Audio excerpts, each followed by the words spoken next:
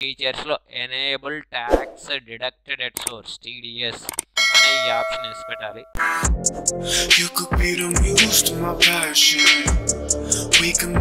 గురించి ఎక్స్ప్లెయిన్ చేసే ముందు దీనికి సంబంధించి చిన్న ఎగ్జాంపుల్ చిన్నదేం కాదు. ఈ ప్రాబ్లం అనేది జిఎస్టి ఐజిఎస్టి టీడీఎస్ హావియర్స్ లాస్ట్ వీడియోలో సర్వీస్ ట్యాక్స్ ప్రాబ్లం గురించి చెప్పుకున్నాము. నెక్స్ట్ ఈ వీడియోలో నేను మీకు టీడీఎస్ గురించి ఎక్స్ప్లెయిన్ చేయాలనుకుంటున్నాను. అలాగే ఈ ప్రాబ్లంలోనే మీకు జిఎస్టీ క్యాలిక్యులేషన్ ఎలా చేస్తారు? ఐజిఎస్టీ క్యాలిక్యులేషన్ ఎలా చేస్తారు? టీడీఎస్ అనేది ఎలా క్యాలిక్యులేషన్ చేస్తారు? మొత్తం ఈ ప్రాబ్లంలోనే ఈ ఎగ్జాంపుల్లోనే ఎక్స్ప్లెయిన్ చేస్తాను. ఇప్పుడు టీడీఎస్ ఫీచర్స్ అనేవి చాలా ఉంటాయి. సో మొత్తం ఒక థర్టీ ట్రాన్సాక్షన్స్ నేను ఎగ్జాంపుల్గా తీసుకున్నాను. ఈ థర్టీ ట్రాన్సాక్షన్స్ని టీడీఎస్ జిఎస్టీ ఐజిఎస్టీ ప్రాబ్లంగా మీకు ఎక్స్ప్లెయిన్ చేయాలనుకుంటున్నాను. చాలా న్యూ ఫీచర్స్ ఉంటాయి. సో ముందు టాలీలో ఒక కంపెనీ అనేది క్రియేట్ చేయాలి. కొత్తగా కంపెనీ క్రియేట్ చేయాలి కాబట్టి ఇక్కడ నేను క్రియేట్ కంపెనీ అనే ఆప్షన్ తీసుకుంటాను. ఇదిగోండి క్రియేట్ కంపెనీ అనే ఆప్షన్ తీసుకుంటున్నాను. మనకి పార్ట్నర్స్ ఎవరెవరైతే ఉన్నారో ఆ పార్టీ నేమ్ మీదే కంపెనీ నేమ్ క్రియేట్ చేస్తా. మాధవ్ శివ అని ఉంది. కంపెనీ నేమ్ నేను ఎంఎస్ కంపెనీ అని క్రియేట్ చేస్తాను. MS company. అడ్రస్ ఇవన్నీ క్యాజువల్గా ఇచ్చేసేయచ్చు. స్టేట్ దగ్గర ఆంధ్రప్రదేశ్. సేవ్ చేస్తే సరిపోద్ది. సేవ్ చేసేసాను నెక్స్ట్ కంపెనీ క్రియేట్ చేసిన వెంటనే మనకి ఎఫ్ లెవెన్ ప్రెస్ చేసిన వెంటనే కంపెనీ ఫీచర్స్ అనేవి డిస్ప్లే అవుతాయి. ఈ ఫీచర్స్లో మనకి ఏ ఏ ఆప్షన్స్ అయితే కావాలి అని మనం అనుకుంటున్నామో ఆ ఆప్షన్స్ అన్నీ వేసి పెట్టాలి. మనం అకౌంట్స్ చేయాలి అనుకుంటున్నాం. సో అకౌంట్స్కి సంబంధించి ఇక్కడ ఆప్షన్స్ వేసి పెట్టాలి. అకౌంట్స్లో మనం అకౌంట్స్ కాబట్టి చేసేది మెయింటైన్ అకౌంట్స్ అనే ఆప్షన్ ఇస్తుండాలి అలాగే ఎనేబుల్ బిల్ వైజ్ ఎంట్రీ. మన కంపెనీలో అకౌంట్స్ అన్నీ బిల్ వైజ్గానే చేస్తాం. సో ఆ బిల్ వైజ్ ఎంట్రీస్ అనేవి మనకి డిస్ప్లే అవ్వాలి. అలా డిస్ప్లే అవ్వాలి అంటే ఎనేబుల్ బిల్ వైజ్ ఎంట్రీ అనే ఆప్షన్ కూడా ఎస్ అనే ఉంచాలి. సో ఎస్ అనే ఉంచాను. ఇన్వెంటరీ అనేది మనకి ఏం లేదు Noney. Next enable goods and service tax GST. మీ కంపెనీలో మీరు జిఎస్టీ అనేది క్యాలిక్యులేషన్ చేస్తారా అని అడుగుతున్నాడు. సో ఇవాళ మనం జిఎస్టీ క్యాలిక్యులేషన్ చేస్తున్నాం. సో అలా క్యాలిక్యులేషన్ చేయాలి అంటే ఈ ఆప్షన్ ఎస్ పెట్టాలి. ఈ ఆప్షన్ ఎస్ పెట్టి ఎంటర్ ప్రెస్ చేసిన వెంటనే మన కంపెనీ జిఎస్టీ రిజిస్ట్రేషన్కి సంబంధించి జిఎస్టీ రిజిస్ట్రేషన్ డీటెయిల్స్ బాక్స్ అనేది మనకి ఇలా డిస్ప్లే అవుతుంది. స్టేట్ దగ్గర మనం ఆంధ్రప్రదేశ్ అని ఇచ్చాం. సో ఆంధ్రప్రదేశ్ అనే ఉంచాలి. రిజిస్ట్రేషన్ టైప్ మనది రెగ్యులరే సో రెగ్యులర్ అని ఇచ్చేస్తాను. అసెస్మెంట్ ఆఫ్ అదర్ టెరిటరీస్ అనేది మన ఏపీకి అప్లై అవ్వదు. సో ఈ ఆప్షన్ జిఎస్టీ ఐఎన్ నెంబర్ అనేది మన ఏపీకి త్రీ సెవెన్తో స్టార్ట్ అవుతుంది. తర్వాత ఫైవ్ ఆల్ఫా ఇచ్చేస్తాను. Four numerical one alpha one numerical fourteenth digit Z అని ఇచ్చేసాను ఫిఫ్టీన్త్ వన్ ఆల్ఫా న్యూమరికల్. ఇలా టోటల్గా ఫిఫ్టీన్ డిజిట్స్ జిఎస్టీఐఎన్ నెంబర్ అనేది మనం ఎంటర్ చేస్తే సరిపోద్ది. నేను ఎగ్జాంపుల్గా ఇచ్చేసాను. రిటర్న్స్ అనేవి మనం మంత్లీ వైజ్గానే పే చేస్తాం. సో మంత్లీ అనే ఉంచాలి. ఇన్వాయిసింగ్ అప్లికబుల్ను సేవ్ చేసేది next set alter company GST rate and other details. అంటే మనకి ప్రాబ్లంలో మనకున్న ఐటమ్స్ ఏవైతే ఉన్నాయో ప్రొడక్ట్ ఏదైతే ఉందో గూడ్స్ ఏదైతే ఉందో ఆ గూడ్స్ మీద మనకి రేట్ అనేది మెన్షన్ చేస్తారు. సో ఆ రేట్ డీటెయిల్స్ అనేవి ఎంటర్ చేయాలి. అలా ఎంటర్ చేయాలి అంటే ఈ ఆప్షనే మనం వేసి పెట్టాలి. ఎస్ పెట్టి ఎంటర్ ప్రెస్ చేసిన వెంటనే company GST rate details box అనేది మనకి ఇలా డిస్ప్లే అవుతుంది. స్పెసిఫైడ్ డీటెయిల్స్ ఆర్ తీసుకోవాలి. ఇక్కడ మనకి హెచ్ఎస్ఎన్ కోడ్ అనేది ఉంటుంది. హెచ్ఎస్ఎన్ కోడ్ అనేది మనం ఎంటర్ చేయాలి. అలా ఎంటర్ చేయాలి అంటే మనకి ఎగ్జాంపుల్స్లో ఎల్సిడి కెమెరాస్ అని ఇచ్చారు అలాగే ల్యాప్టాప్స్ అని ఇచ్చారు. వాటికి హెచ్ఎస్ఎన్ కోడ్ ఏదైతే ఉంటుందో అది ఇచ్చేయచ్చు. ఎగ్జాంపుల్గా నేనైతే ఎయిట్ ఫోర్ సెవెన్ వన్ అని ఇచ్చేస్తాను. ఎస్ఏ ట్రేడెడ్ గూడ్స్ రేట్ డీటెయిల్స్లో స్పెసిఫైడ్ డీటెయిల్స్ సార్ ట్యాక్సిబిలిటీలో ట్యాక్సిబుల్ అని ఇవ్వాలి. మనకి ప్రాబ్లంలో రేట్ ఎంత ఇచ్చాడో ఒకసారి మనం చెక్ చేసుకోవాలి. ఎయిటీన్ పర్సెంట్ ఇచ్చారు. ఎయిటీన్ పర్సెంట్ తీసుకోవాలి.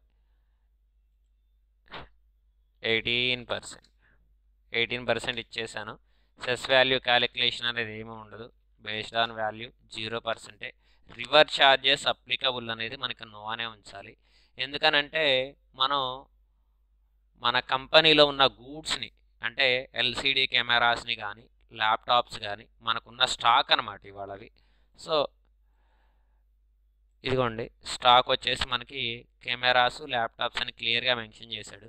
వీటిని మనం పర్చేజ్ చేసేటప్పుడు లేదా సేల్ చేసేటప్పుడు ఓన్లీ పర్చేజ్ చేసేటప్పుడు మాత్రమే వాటిని మనం జిఎస్టీ రిజిస్ట్రేషన్ చేయించుకున్న పార్టీస్ నుండే పర్చేజ్ చేయాలి.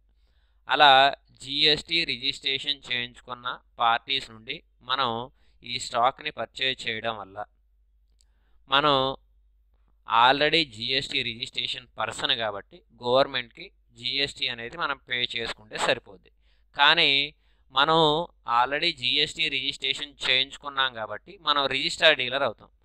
ఎవరైతే జిఎస్టీ రిజిస్ట్రేషన్ అనేది చేయించుకోని పార్టీస్ ఉంటారు అంటే జిఎస్టీ రిజిస్ట్రేషన్ చేయించుకోని పార్టీస్ ఎవరైతే ఉంటారో అలాంటి పార్టీస్ నుండి కనుక మనం గూడ్స్ని పర్చేజ్ చేస్తే. వాళ్ళు జిఎస్టీ రిజిస్ట్రేషన్ చేయించుకోకపోవడం వల్ల గవర్నమెంట్కి ఎలాంటి ట్యాక్స్ అనేది పే చేయరు.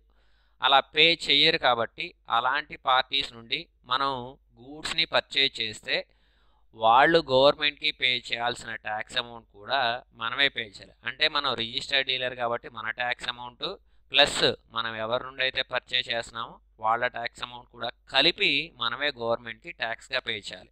అలా పే చేసే ట్యాక్స్ని రివర్ ఛార్జెస్ అంటారు. సో మనం ఇవాళ ఓన్లీ జిఎస్టీ రిజిస్ట్రేషన్ చేయించుకున్న పార్టీస్ నుండే పర్చేజ్ చేస్తాం కాబట్టి ఈ ఆప్షన్ నోనే ఉంచాలి. ఈ ఆప్షన్ కూడా నోనే.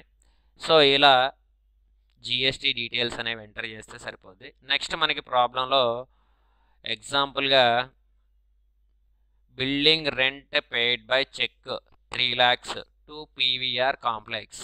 మనం బిల్డింగ్ రెంట్ అనేది పే చేస్తున్నామంట. బ్యాంక్ చెక్ ద్వారా. ఎవరికి పే చేస్తున్నాం? పీవీఆర్ కాంప్లెక్స్ వాళ్ళకి పే చేస్తున్నాం.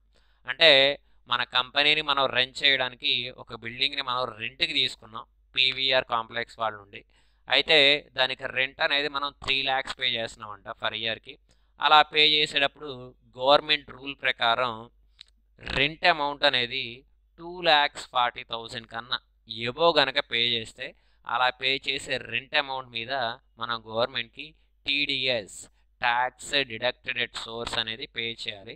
సో ఇప్పుడు మనం ఏం చేయాలి అంటే వీళ్ళకి పీవీఆర్ కాంప్లెక్స్ వాళ్ళకి మనం ఈ త్రీ ల్యాక్స్ అమౌంట్ అనేది పే చేయాలి.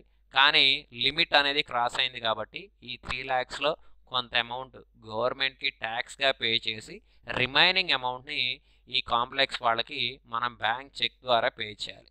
అలా పే చేయాలి అంటే ముందు మనం టీడీఎస్ అనేది క్యాలిక్యులేషన్ చేయాలి.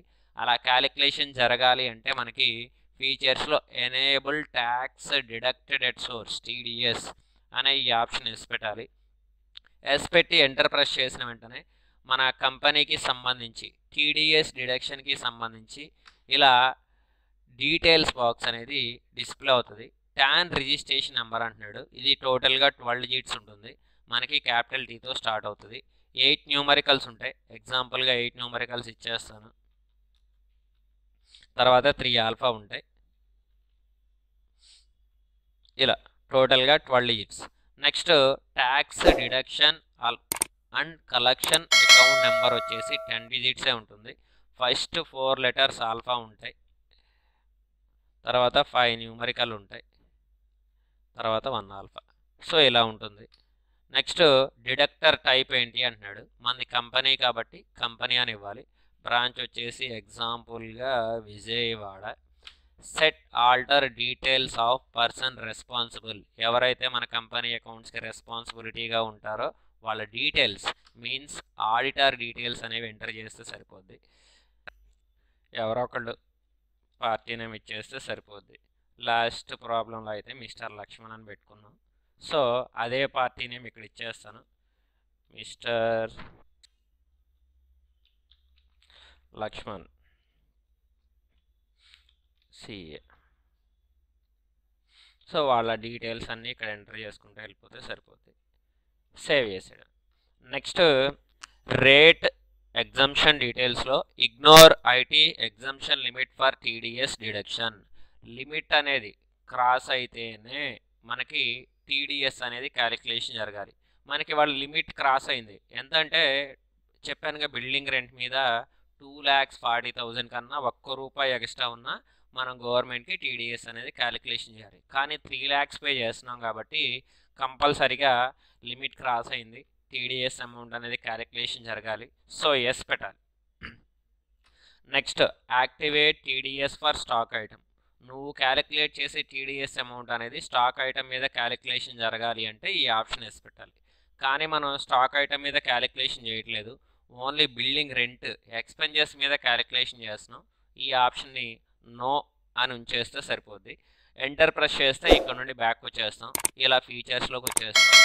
So GST details TDS details yes పెట్టేసాం సేవ్ చేయాలి. ప్రెస్ ఎంటర్ కానీ లేదా కీబోర్డ్లో కంట్రోల్ ప్లస్ ఏ కానీ ప్రెస్ చేస్తే సేవ్ అయిపోతుంది సో ఇది మనకి ఫీచర్స్ అప్లై చేసుకునే ప్రాసెస్ అనమాట ఈ వీడియోలో మీకు కంపెనీ క్రియేషన్ చెప్పాను. అలాగే ఎఫ్ లెవెన్ ఫీచర్స్ అప్లై చేసాం జిఎస్టీ డీటెయిల్స్ కూడా ఎంటర్ చేసాం అలాగే ట్యాక్స్ డిడక్టెడ్ ఎట్ సోర్స్ టీడీఎస్కి సంబంధించి కంపెనీ డీటెయిల్స్ కూడా ఎంటర్ చేసాం ఇక్కడ వరకు ఎక్స్ప్లెయిన్ చేస్తున్నాను. నెక్స్ట్ వీడియోలో మీకు జిఎస్టీ లెక్చర్స్ ఎలా క్రియేట్ చేయాలి అలాగే ఐసీఎస్టీ లెక్చర్స్ ఎలా క్రియేట్ చేయాలి టీడీఎస్ డీటెయిల్స్ కూడా ఎలా క్రియేట్ చేయాలో ఎక్స్ప్లెయిన్ చేస్తాను. ఈ వీడియో కనుక మీకు నచ్చితే లైక్ చేయండి షేర్ చేయండి సబ్స్క్రైబ్ చేయడం మాత్రం మర్చిపోకండి. Thank you. You could be the muse to my passion. We can make